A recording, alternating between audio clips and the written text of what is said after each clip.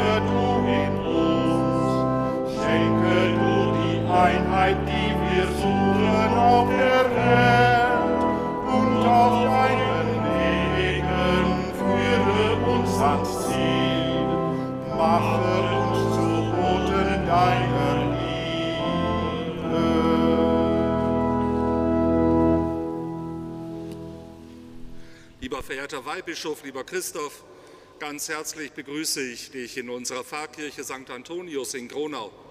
Schön, dass du gekommen bist, um 42 Jugendlichen das Sakrament der Firmung zu spenden. Euch, die Firmlinge, begrüße ich natürlich auch ganz besonders, sowie eure Paten und eure, eure Eltern und alle, die per Livestream diesen Gottesdienst mitverfolgen. Die beiden Kameras findest du einmal an der Säule und ganz oben. Dann weißt du gleich bei der Predigt, wo du hinschauen möchtest, um alle anzusprechen. Schön, dass du da bist. Ich freue mich auf einen lebendigen Gottesdienst.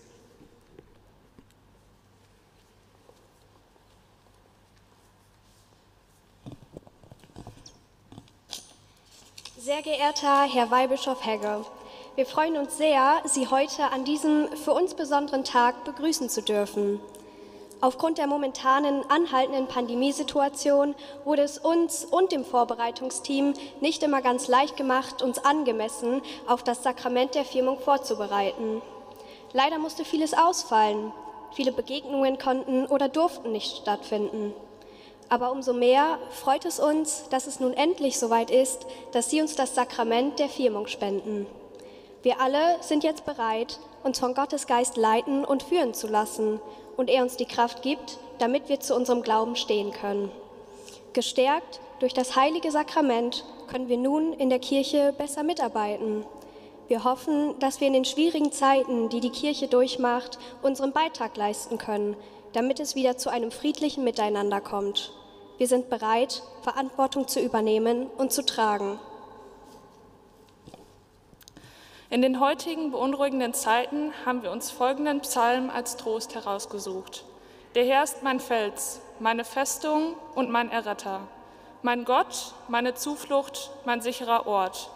Er ist mein Schild, mein starker Helfer, meine Burg auf unbezwingbarer Höhe.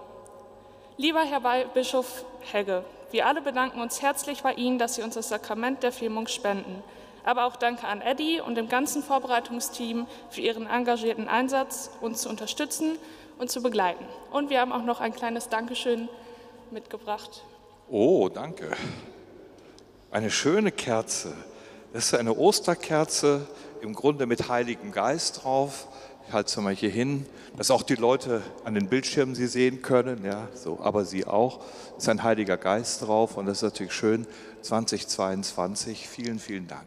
Also danke für die wunderbare Begrüßung von euch. Genau in dieser Situation der Kirche und der Welt empfangt ihr das Sakrament der Firmung. Ihr habt euch entschieden, teils digital vorbereitet, teils analog mit Eddie und dem Team, ja, Pastor Eddie Wawelka und dem Team.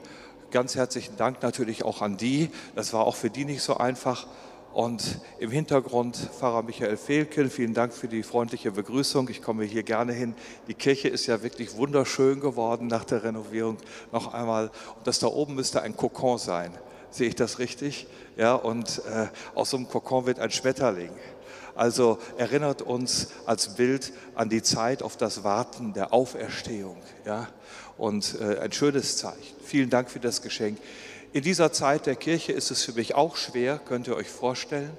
So manches Mal würde man gerne wirklich etwas anderes tun und sagen und machen, aber ich stehe hier und ich kann auch gar nicht so ganz viel, denn ich kann euch ja nur die Hände auflegen zur Firmung. Und das tun die Apostel und die Nachfolger der Apostel, wenn die auch viel anderes in ihrem Leben tun und was nicht immer richtig ist. Aber das haben sie immer getan, über 2000 Jahre. Sie haben die Hände aufgelegt, sie haben gebetet, weil Jesus das gesagt hat, sonst gibt es keinen Grund. Jesus hat gesagt, legt den Menschen die Hände auf, betet, dann komme ich. Und das ist das Tolle jedes Mal bei einer Firmung, was ich auch erlebe. Ich lege euch die Hände auf, ich bete um den Heiligen Geist und dann geschieht was Großartiges, nämlich dann kommt Gott. Und Gott kann es besser als wir. Und Gott kommt zu dir ohne Maske und ohne Abstand direkt in dein Herz. Ja. Mir fällt das Psalmwort ein, du bist mein Herr, mein ganzes Glück bist du allein. Oder ich habe den Herrn beständig vor Augen, er steht mir zur Rechten, ich wanke nicht. Solche schönen Sätze gibt es alles in der Bibel, dass ihr das wisst, Gott kommt zu euch und der bleibt bei euch das ganze Leben. Also so haben wir jetzt Grund, eine frohe Firmenfeier zu feiern, kurz, kräftig und euch zu feiern, weil ihr euch aufmacht, für Gott ein offenes Herz zu haben. Jetzt dürft ihr gerne wieder auf eure Plätze gehen und wir wollen diesen Gottesdienst beginnen im Namen des Vaters und des Sohnes und des Heiligen Geistes. Amen. Der Friede sei mit euch. Ja, Sie werden sich wundern, warum ich dieses Gewand anhabe. Hier ist, das ist erarbeitet oder umgearbeitet aus einer Fahne der Kolping, von Kolping. Die Kolping-Gruppe hat sich aufgelöst und dann hat man den heiligen Josef auf ein Gewand aufgenäht aus der Fahne. Weil wir nämlich heute das Hochfest des heiligen Josef feiern. Das ist was ganz Besonderes. Und an diesem Fest werdet ihr also gefirmt. Und alle, die sich die den heiligen Josef als Namenspatron haben, vielleicht ist da jemand in der Kirche hier, der Josef heißt oder äh, Giuseppe oder Josephine oder sonst etwas. Also herzlichen Glückwunsch zum Namenstag an alle Josefs und so. Und wir feiern diesen besonderen Heiligen heute besonders, weil er sich durch Gott hat führen lassen. Und das hat was mit dem Geist Gottes zu tun. Und darüber wollen wir gleich noch einen Augenblick nachdenken. Aber jetzt sammeln wir uns und wir bitten Christus um sein Erbarmen, damit wir ein offenes Herz für ihn haben. Herr Jesus Christus, dein Heiliger Geist trägt unser Leben. So dürfen wir dir vertrauensvoll begegnen mit unseren Ängsten, Schwächen und Sorgen. Herr, erbarme dich. Herr, erbarme dich. Herr Jesus Christus, dein Heiliger Geist ermutigt uns, von dir und der Liebe Gottes zu erzählen. Christus, erbarme dich. Christus, erbarme. Herr Jesus Christus, dein Heiliger Geist erfüllt uns mit Hoffnung und zeigt uns, wie unser Leben gelingen kann. Herr, erbarme dich. Herr, erbarme. Herr, du kommst mit offenen Armen auf uns zu. Du kennst unsere Herzen und unseren guten Willen. Nimm von uns weg, was uns von dir und voneinander trennt. Verzeihe uns Sünde und Schuld und schenke uns dein ewiges Leben. Amen. So wollen wir jetzt zur Ehre Gottes das Gloria singen.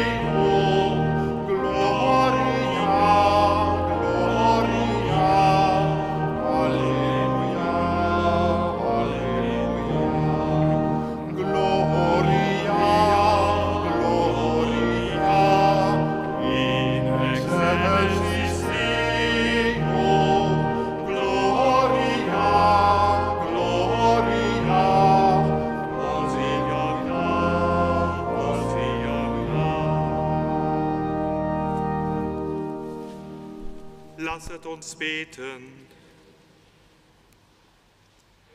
Allmächtiger Gott, du hast Jesus, unseren Heiland, und seine Mutter Maria der treuen Sorge des heiligen Josef anvertraut.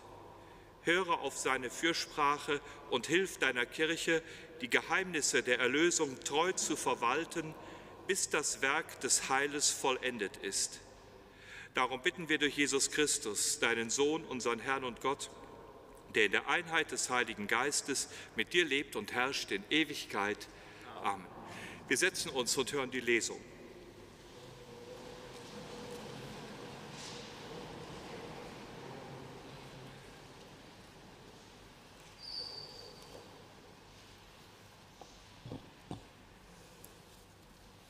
Lesung aus dem Brief des Apostels Paulus an die Gemeinde in Rom. Schwestern und Brüder, Abraham und seine Nachkommen erhielten nicht aufgrund des Gesetzes die Verheißung, Erben der Welt zu sein, sondern aufgrund der Glaubensgerechtigkeit.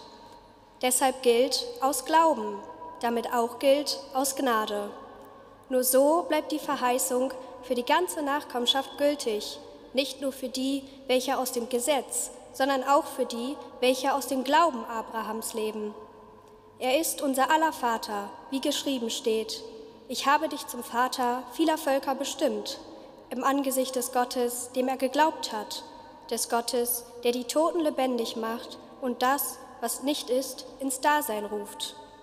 Gegen alle Hoffnung hat er voll Hoffnung geglaubt, dass er der Vater vieler Völker werde, nach dem Wort, so zahlreich werden deine Nachkommen sein. Darum wurde es ihm auch als Gerechtigkeit angerechnet. Wort des lebendigen Gottes.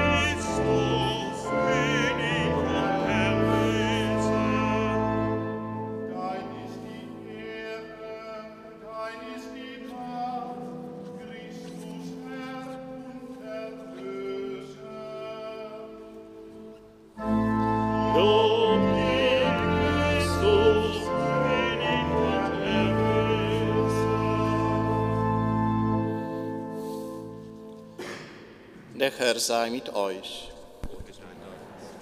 Aus dem heiligen Evangelium nach Matthäus.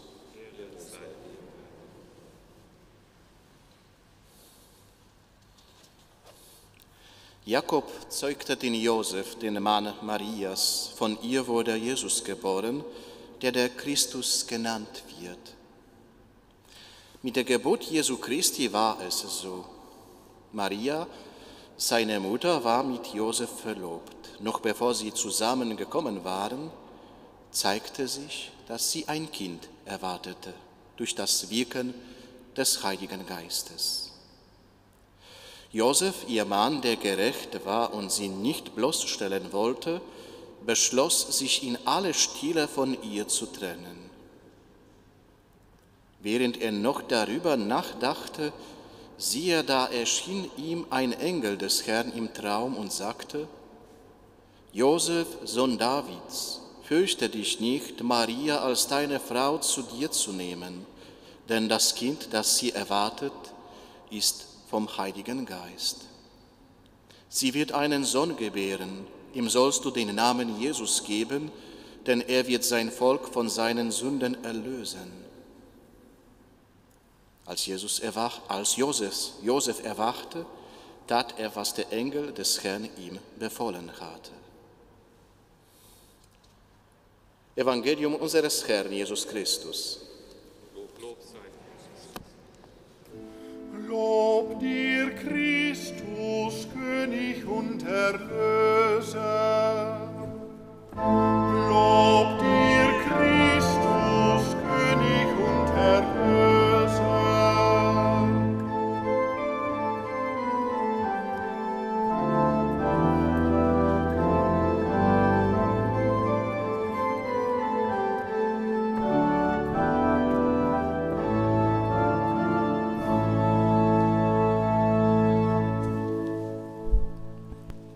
Bitte nehmen Sie Platz. Liebe Schwestern und Brüder, liebe Jugendliche, auch natürlich all diejenigen, die jetzt per Internet mit uns verbunden sind. Wir feiern Firmung und das hat was mit Inspiration zu tun. Inspiration. Wer gibt dir Eingebungen? Wer gibt dir eigentlich zu verstehen, wie du in deinem Leben leben sollst und kannst? Durch wen lässt du dich beeinflussen? Das ist ja heute eine wichtige Frage. Heute könnte man den Eindruck bekommen, dass vielleicht das Internet mit all den Möglichkeiten die maßgebliche Plattform ist, die uns beeinflusst im Denken, im Handeln. Josef stellt uns vor Augen, dass es auch noch eine andere Möglichkeit gibt, dass Gott selber zu dir und zu uns etwas sagen möchte. Er wird ja auch bezeichnet als Schutzpatron der Träumenden. Also nicht Schutzpatron der Träumer, ja, das war nicht. Sondern der Träumenden, derer, die eine Inspiration wahrnehmen. Dreimal erfährt Josef etwas im Traum, bekommt er die entscheidende Inspiration in seinem Herzen. Einmal im Evangelium von heute, wo ihm der Engel sagt im Traum, nimm Maria zu dir, lass sie nicht allein, der Sohn, den sie gebären wird, der ist der Sohn Gottes. Er wird Israel, er wird das Volk erlösen von seinen Sünden. Er ist Jesus, du sollst ihm den Namen Jesus geben und Jesus heißt übersetzt, Gott heilt. Und das wird sich ja im Leben Jesu zeigen. Eine zweite Inspiration, die der Josef bekommt, das ist nach der Geburt in Bethlehem. Er soll wegziehen mit dem Kind, weil Herodes den Kindermord androht und auch durchführt. Und er zieht mit dem Kind und seiner Mutter nach Ägypten.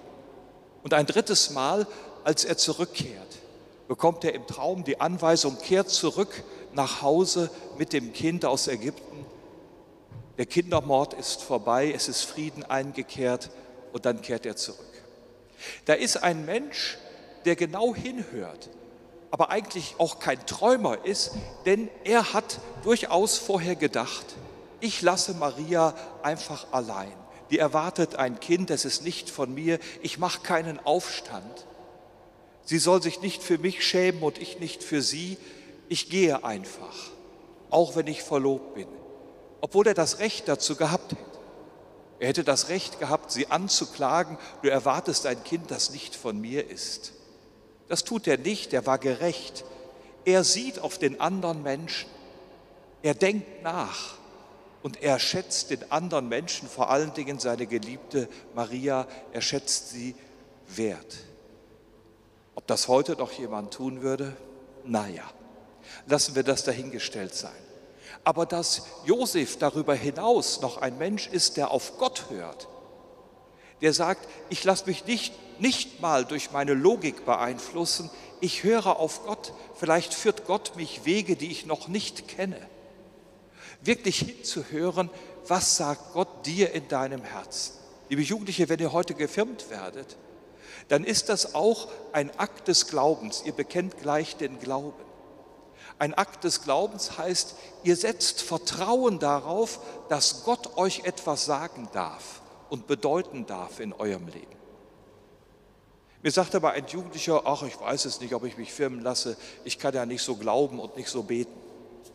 Dann habe ich ihm gesagt, hör mal, hast du das mal Jesus gesagt, dass du nicht so glauben und nicht so beten kannst? Guckt er mich ganz schief an. Wie? Wie soll ich das denn Jesus sagen, wenn ich nicht so glauben und nicht so beten kann? Naja, habe ich gesagt, Jesus, Gott, der Heilige Geist, ist ja ein bisschen größer als dein Brain, als deine Gedanken, als dein Vermögen.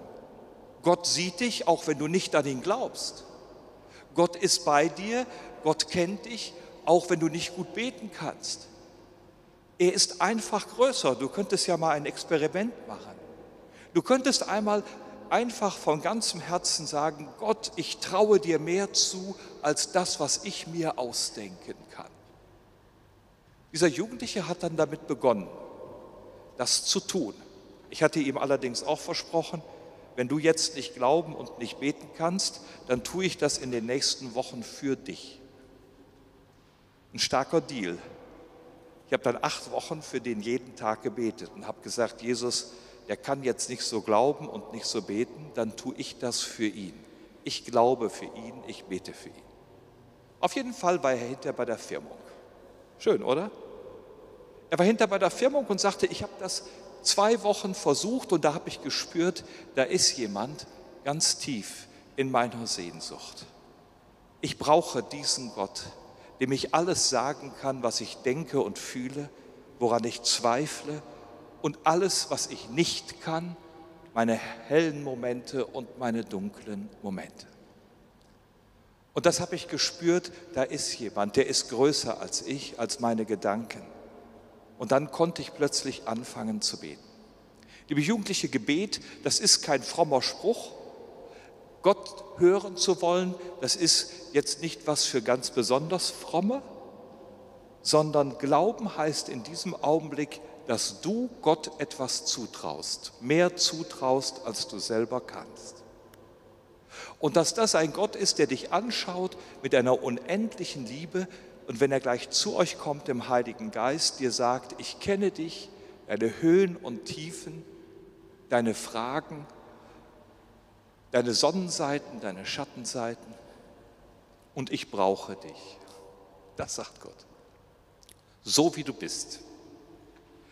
Und du bist für mich nicht eine Nummer, du bist für mich nicht das, was du aus dir machst oder was du über dich denkst, ob du toll bist oder nicht ob du ein Sixpack hast, ob du super gestylt bist oder der beste Sportler oder die beste Sportlerin, ob du super geschminkt bist oder nicht, das interessiert mich überhaupt nicht. Sonst hätte ich ja keine Chance mehr. Ich habe auch ein Sixpack, aber ein bisschen ummantelt allerdings. Nein, Gott interessiert sich für dich mit deinem Namen, für deine Person. Denn wenn der Heilige Geist kommt, möchte er dir nichts anderes zeigen, als dass du eine Tochter Gottes bist eine Tochter Gottes. Du gehörst nicht nur zu deiner menschlichen Familie, du bist ein Sohn Gottes. Das hat dir heute noch keiner gesagt, vermutlich. Und das ist aber stark, dass wir uns das gegenseitig mal klar machen, dass wir hier in der Kirche als Getaufte und Gefirmte Söhne und Töchter Gottes sind. Nicht einfach irgendwelche Nummern. Wir gehen im Alltag immer so alltagsmäßig miteinander um. Haben wir diese innere Haltung, dass wir wissen, wir sprechen mit einem Menschen, einem Sohn, einer Tochter Gottes, ein von Gott unendlich geliebter Mensch.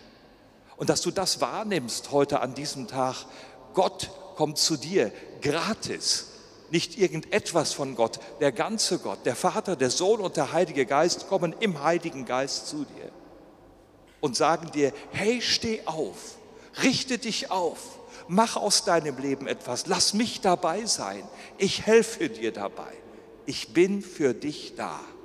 Und das wünsche ich euch von ganzem Herzen. Liebe Eltern und Paten, da muss doch heute zu Hause noch irgendwas gehen, oder? Da wird doch noch gefeiert. Ich hoffe doch, oder? Ja, da hinten sehe ich jemanden nicken, eine einsame Dame, die nickt. Das ist schön. Feiern Sie, feiern Sie Ihren, ja super, da muss heute noch was gefeiert werden. Ich finde das ganz wichtig, denn wenn Sie nicht feiern, dann drückt das nicht die Freude aus, die wir heute haben und wir haben Grund zu dieser Freude. Wir haben Grund, uns über unsere Jugendlichen zu freuen, über unser Leben, dieses einzigartige, wertvolle Leben. Wir spüren das doch in dieser Zeit von Corona und ja, von Kriegswirren mitten in Europa. Was das bedeutet, ein Leben zu haben, wo du sagen kannst, ich bin eine Tochter Gottes, ich bin ein Sohn Gottes, mir geschieht nichts, ich bin in der Hand Gottes. Wow. Und das müsst ihr feiern heute zu Hause, auch eure Gemeinschaft, dass ihr einfach spürt, wir sind füreinander da und wir wollen im Geist Jesu, im Geist Gottes füreinander da sein. In einem Geist, der Frieden stiftet. In einem Geist, wo die Liebe nicht abnimmt, sondern zunimmt.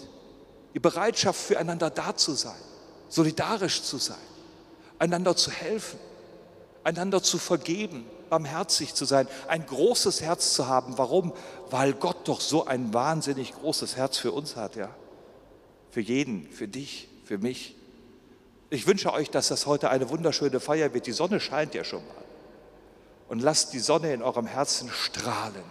Denn ihr seid dazu berufen, als Söhne und Töchter Gottes, diese Welt schöner zu machen, damit wir in einer Kultur der gegenseitigen Liebe, des Füreinander-Daseins, der echten Solidarität leben.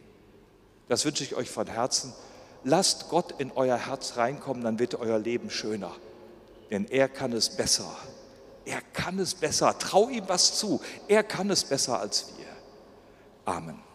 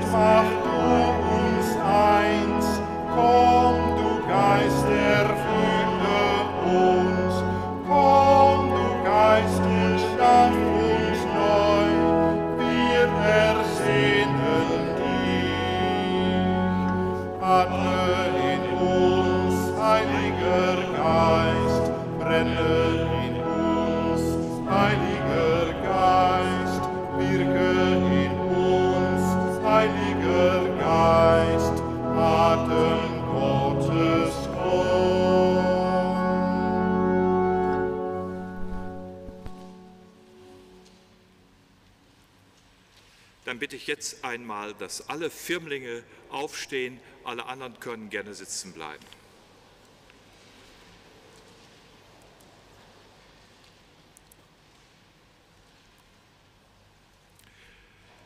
»42 seid ihr heute Nachmittag. Liebe Jugendliche, ihr habt euch vorbereitet auf verschiedene Weise auf diesen Tag. Und wenn ihr heute einfach sagen könnt von Herzen, ja, diesen Geist Gottes kann ich für mein Leben brauchen. Den Geist, der uns Christus bringt und den Vater, den einen Gott, den wir bekennen. Dann seid ihr hier einfach richtig. Und er kommt zu euch, jetzt gleich bei der Firmung. Schon einmal ist er zu euch gekommen bei der Taufe. Und da haben eure Eltern und Paten den Glauben bekannt. Jetzt macht ihr das selber. Und tut es voller Überzeugung sodass wir alle eure Antwort hören. So frage ich euch, widersagt ihr dem Satan und dem Bösen und all seiner Verführung, um in der Freiheit der Kinder Gottes leben zu können? Glaubt ihr an Gott, den Vater, den Allmächtigen, den Schöpfer des Himmels und der Erde?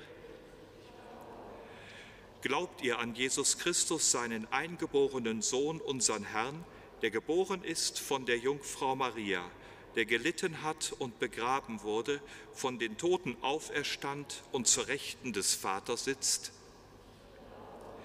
Glaubt ihr an den Heiligen Geist, die heilige katholische Kirche, die Gemeinschaft der Heiligen, die Vergebung der Sünden, die Auferstehung der Toten und das ewige Leben?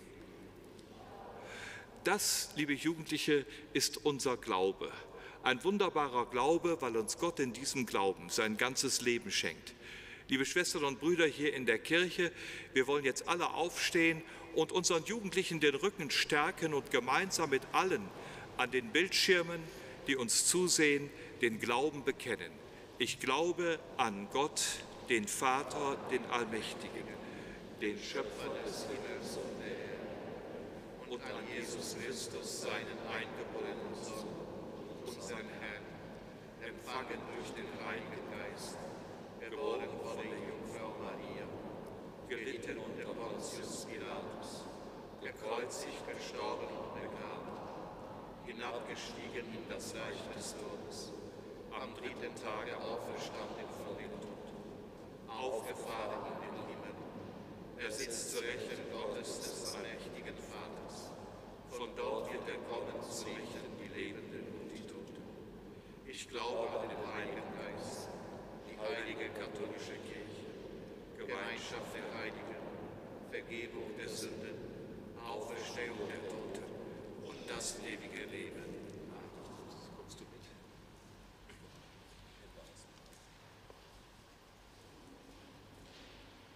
Liebe Schwestern und Brüder, lasst uns jetzt beten zu Gott, dem allmächtigen Vater, dass er den Heiligen Geist herabsende auf diese jungen Christen, die in der Taufe wiedergeboren sind zum ewigen Leben. Der Heilige Geist stärke euch, liebe Jugendlichen, durch die Fülle seiner Gaben und er mache euch durch die Salbung mit dem heiligen Krisamöl Christus, dem Sohn Gottes, ähnlich. Wir wollen einen Augenblick in Stille beten. Wir können dazu stehen bleiben. Wir können einfach füreinander beten. Wir Erwachsene und Verwandte, Patinnen und Paten und Familienangehörige beten jetzt für euch, liebe Jugendliche. Und ihr könnt einfach von Herzen im stillen Gebet Jesus anvertrauen, worum ihr bittet und wofür ihr dankt. Wir halten einen Augenblick Stille und beten in Stille.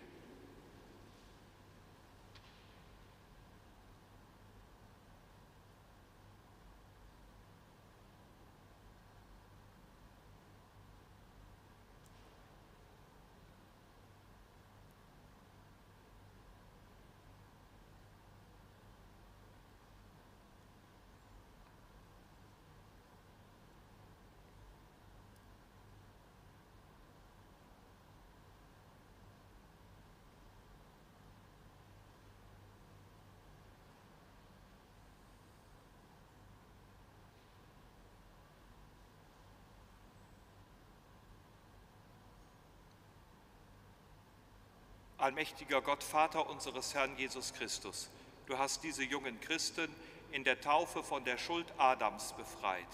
Du hast ihnen aus dem Wasser und dem Heiligen Geist neues Leben geschenkt. Wir bitten dich, Herr, Sende ihnen den Heiligen Geist, den Beistand. Gib ihnen den Geist der Weisheit und der Einsicht, den Geist des Rates, der Erkenntnis und der Stärke, den Geist der Frömmigkeit und der Ehrfurcht vor Gott.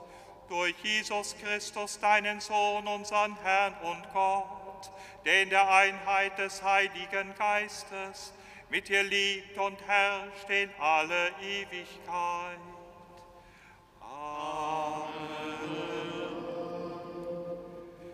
Die Jugendlichen kommen jetzt mit ihren Patinnen und Paten nach vorn ich spende das Sakrament der Firmung. Alle anderen dürfen sich gerne setzen.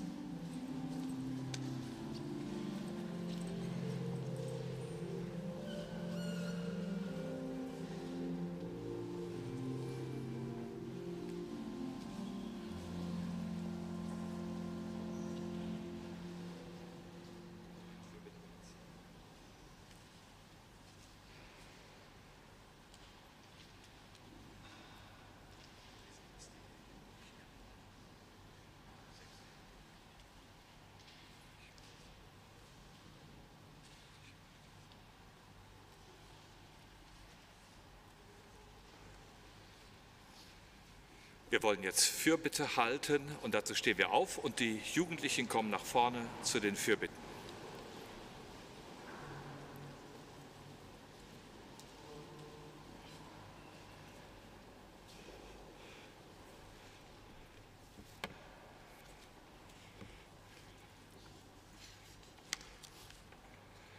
Guter Gott, durch deinen Heiligen Geist erneuerst du Welt und Menschen. Wir bitten dich.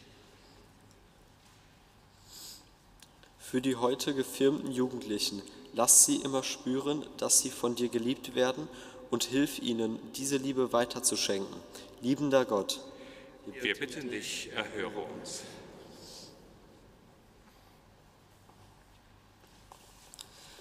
Not ist dir im Leben so oft begegnet. Wir beten für alle Menschen, die unter den Wirren des Krieges in der Ukraine, aber auch an so vielen anderen Orten in der Welt leiden.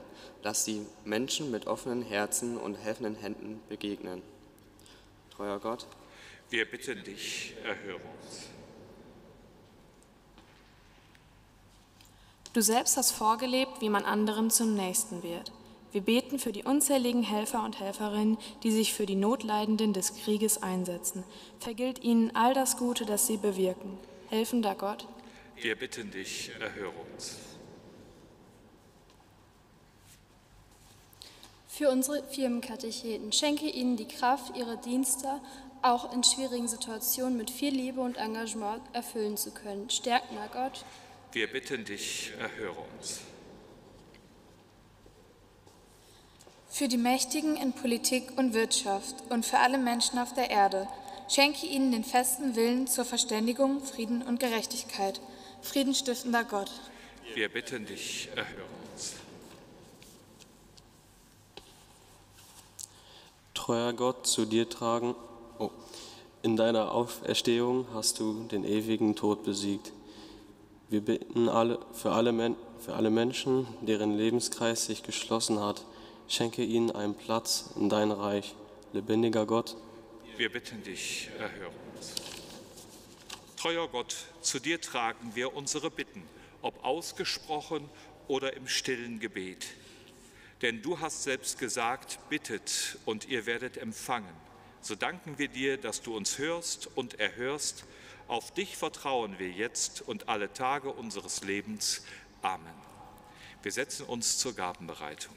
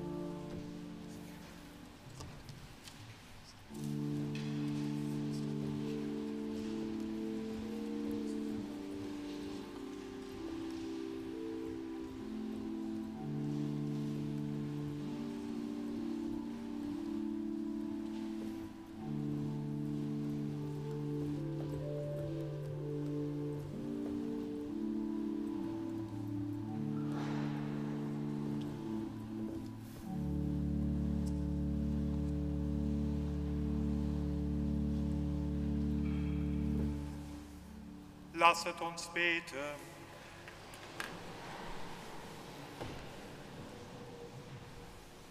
Herr unser Gott, Der heilige Josef hat in deinem ewigen Sohn, den die Jungfrau Maria geboren hat, in Treue gedient.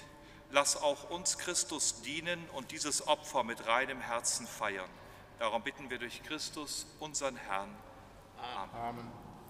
Der Herr sei mit euch.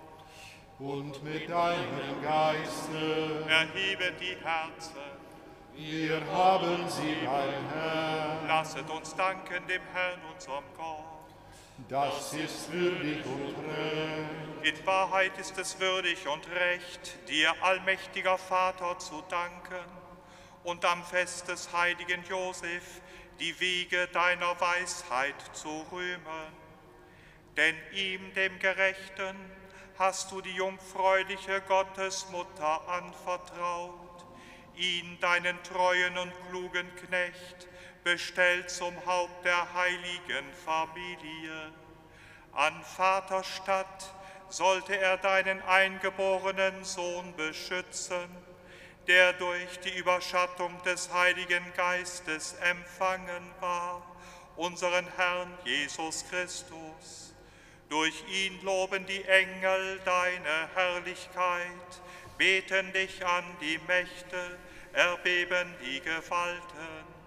Die Himmel und die himmlischen Kräfte und die seligen Seraphim feiern dich jubelnd im Chore. Mit ihrem Lobgesang lass auch unsere Stimmen sich vereinen und voll Ehrfurcht rufen. Heilig, bist du, Herr Gott Sabaoth.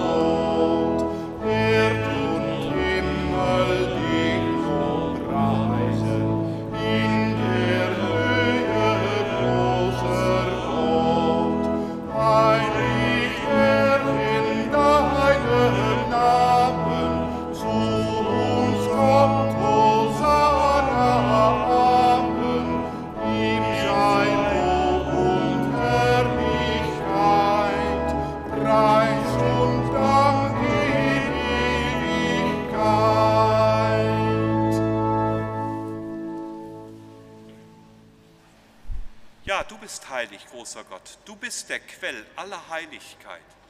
Darum bitten wir dich, sende deinen Geist auf diese Gaben herab und heilige sie, damit sie uns werden Leib und Blut deines Sohnes, unseres Herrn Jesus Christus. Denn am Abend, an dem er ausgeliefert wurde und sich aus freiem Willen dem Leiden unterwarf, nahm er das Brot und sagte Dank, brach es, reichte es seinen Jüngern und sprach, nehmet und esset alle davon, das ist mein Leib, der für euch hingegeben wird.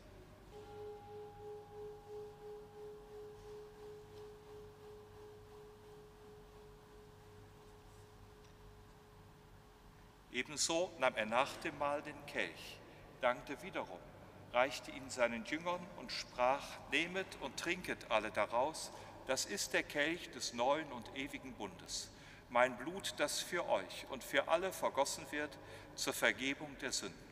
Tut dies zu meinem Gedächtnis.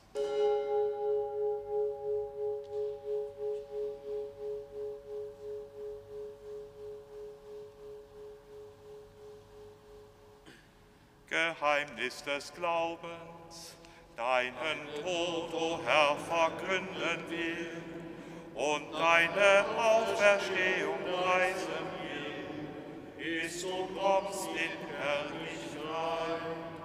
Darum, gütiger Vater, feiern wir das Gedächtnis des Todes und der Auferstehung deines Sohnes und bringen dir so das Brot des Lebens und den Kelch des Heiles dar. Wir danken dir, dass du uns berufen hast, vor dir zu stehen und dir zu dienen. Wir bitten dich, schenke uns Anteil an Christi Leib und Blut und lass uns eins werden durch den Heiligen Geist. Gedenke deiner Kirche auf der ganzen Erde und vollende dein Volk in der Liebe. Vereint mit unserem Papst Franziskus, unserem Bischof Felix und allen Bischöfen, unseren Priestern und Diakonen, unseren Ordenschristen und mit allen Männern und Frauen, die zu einem Dienst in der Kirche bestellt sind. Gedenke auch jener, die in der Taufe zum neuen Leben geboren und von dir in dieser Feier mit der Gabe des Heiligen Geistes gestärkt wurden und bewahre in ihnen das Geschenk deiner Gnade. Gedenke unserer Brüder und Schwestern, die entschlafen sind, in der Hoffnung, dass sie auferstehen. Nimm sie und alle, die in deiner Gnade aus dieser Welt geschieden sind, in dein Reich auf, wo sie dich schauen von Angesicht zu Angesicht. Vater, erbarme dich über uns alle, damit uns das ewige Leben zuteil wird.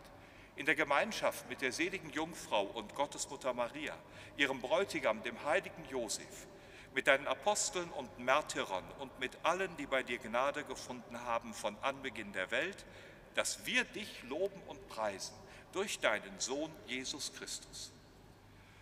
Durch ihn und mit ihm und in ihm ist dir Gott allmächtiger Vater in der Einheit des Heiligen Geistes alle Herrlichkeit und Ehre, jetzt und in Ewigkeit. Amen. Wir heißen Kinder Gottes, wir alle sind Kinder Gottes.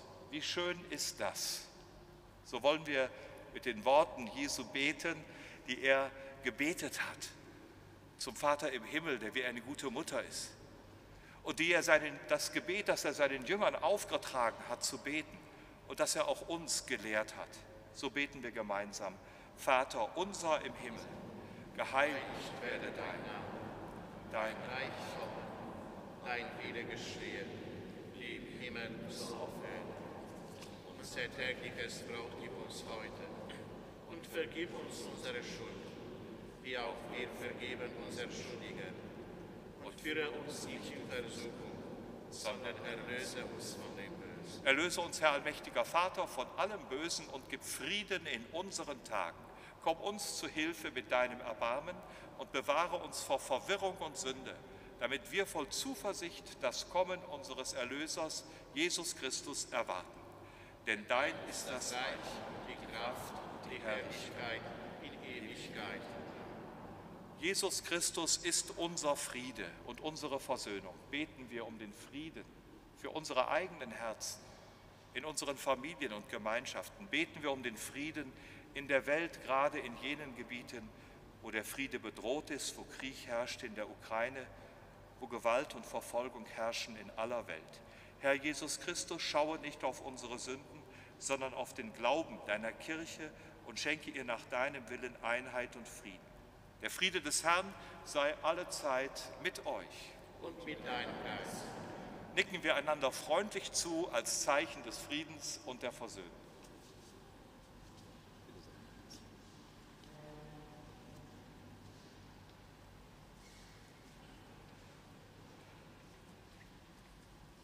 Lamm Gottes, du nimmst hinweg die Sünde der Welt, erbarme dich uns. Lamm Gottes, du nimmst hinweg die Sünde der Welt, erbarme dich uns. Lamm Gottes, du nimmst hinweg die Sünde der Welt, gib uns deinen Frieden.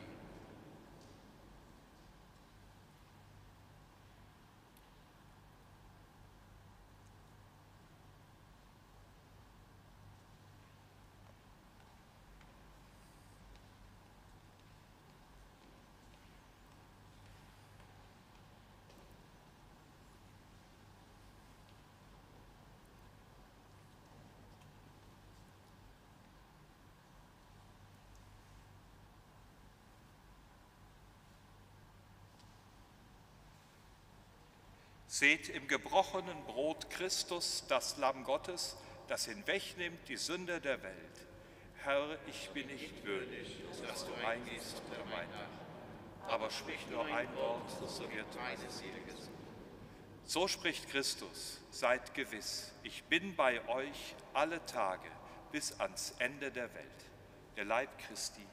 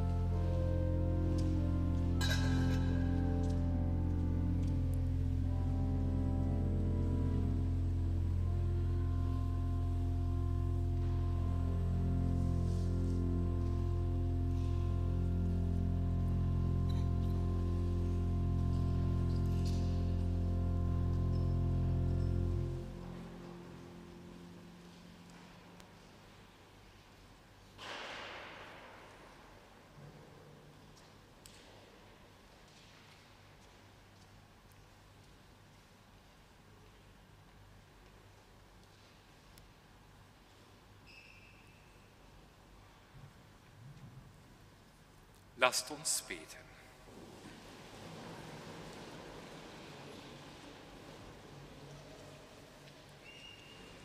Herr unser Gott, du hast uns am Fest des heiligen Josef um deinen Altar versammelt und mit dem Brot des Lebens gestärkt.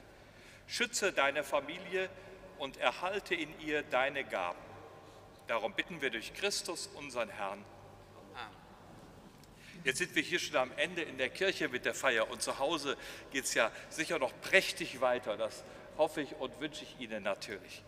Und ich möchte jetzt zunächst einmal als Zeichen dafür, dass ihr so beschenkt seid von Christus und seinem Geist und seinem Licht, die Kerzen, die ihr selbst gestaltet habt, segnen. Sie brennen und hoffentlich brennt es auch in euren Herzen. So bitten wir, Herr Jesus Christus, segne diese Kerzen unserer Neugefirmten, die sie gestaltet haben, als Zeichen des Glaubens an dich, das Licht der Welt. Dein Geist erhalte sie im Glauben, in der Hoffnung und in der Liebe und lasse sie froh durch die Welt gehen, um die Botschaft Gottes zu verkünden, die Botschaft des Friedens, der Liebe und der Gerechtigkeit. So segne diese Kerzen im Namen des Vaters und des Sohnes und des Heiligen Geistes.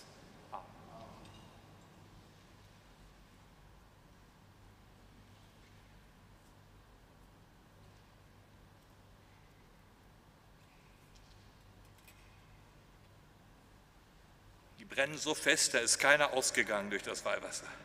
Das ist schön. Zunächst mal, liebe Jugendliche, einen ganz herzlichen Glückwunsch von uns allen hier in der Kirche zu eurer Firmung.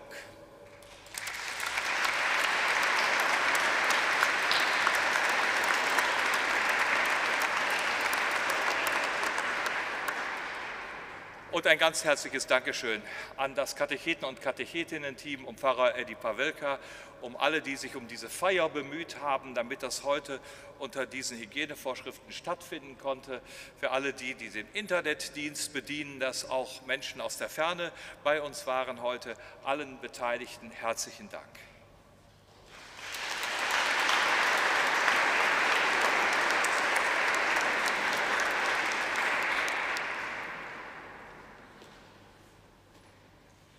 So wollen wir jetzt für uns und für alle, die wir im Herzen tragen, den Segen Gottes erbitten. Der Herr sei mit euch. Und mit deinem Geist. Der Name des Herrn sei gepriesen. Von nun an bis in Ewigkeit. Unsere Hilfe ist im Namen des Herrn.